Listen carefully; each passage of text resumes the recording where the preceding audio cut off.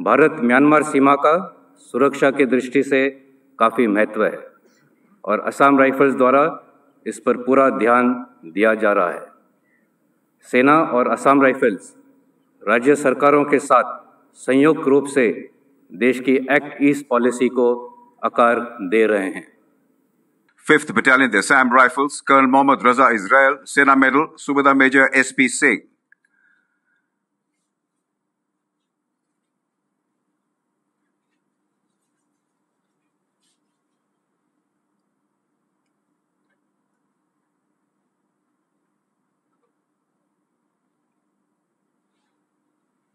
Ninth Battalion, the Assam Rifles, Colonel Surinder Kumar, Subedar Major Pan Singh.